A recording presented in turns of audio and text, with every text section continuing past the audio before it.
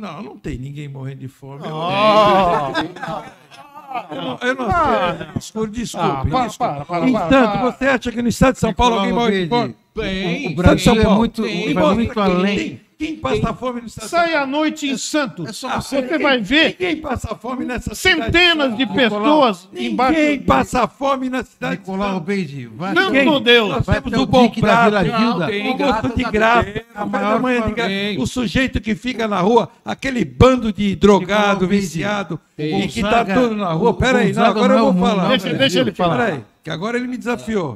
Esse, eu trabalho com isso, eu tenho trabalhado com isso no CDL. Nós temos uma equipe, um GTT que nós estamos fazendo com a prefeitura. Sujeitos que ficam na rua, você sabe por quê? Porque faturam 200 reais por dia. 200, eu te mostro e te provo, gente fatura 200. Esses molequinhos que ficam fingindo que estão vendendo doce, são um bando de ladrãozinho. Eu conheço molequinhos que roubam bicicletas todos os dias. Esse discurso me lembra um bigodinho aí que não deu certo, hein? Não, eu- Me Nicolau lembra um bigodinho que Eu não deu te certo. Provo, eu te provo. Nicolau Obeide, eu te eu levo você e te mostro. a Em São sair do Paulo Gonzaga. ninguém passa fome. Nicolau Ninguém. eu convido Eu é você que tá a 33 sair da Praça da Independência, vai até o dique da Vila 220 Gilda, pega a catraia, o que é vai até Vicente de Carvalho, peraí, você tá vai parecendo até... o Lula, que ele mesmo tirou sarro dele, do discurso que ele falou, que tinha 50 milhões, que ele falou na, na ONU, se não me engano, aonde?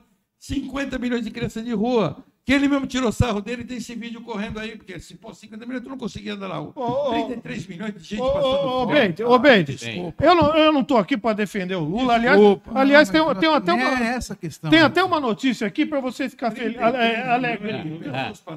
Até tem uma notícia aqui para você ficar Obeide Saiu hoje. o Brasil é um grande Gonzaga, Praça É, não, Independência. eu sou um É idiota. Não, não, vamos- vamos eu sou um idiota, eu sou jornalista, também como você. Vamos deixar. É você ter o- engenharia e jornalismo. É só você ir até o dique da Vila Gilda, via o dique das Caixetas, pegar a catraia e ver até Vicente de Carvalho. Que nós você- nós que temos no- em Santos ficar alegre? a maior favela do é. Brasil sobre palafitas. Vamos dizer. Você acha Eu que vendi ali, computadores para esse pessoal. as pessoas estão maravilhosas ali? É, você acha Tem, que tem aparelho de som e televisão Isso. que eu nunca tive. as que pessoas- Eu não podia comprar na época. Deixa, eu dar uma o que notícia. Marco, deixa eu dar uma É, notícia para ele ficar alegrinho. Vamos lá, é Ele a tá muito nervoso. que O tá nervoso. Ah. Só tô nervoso. thank you.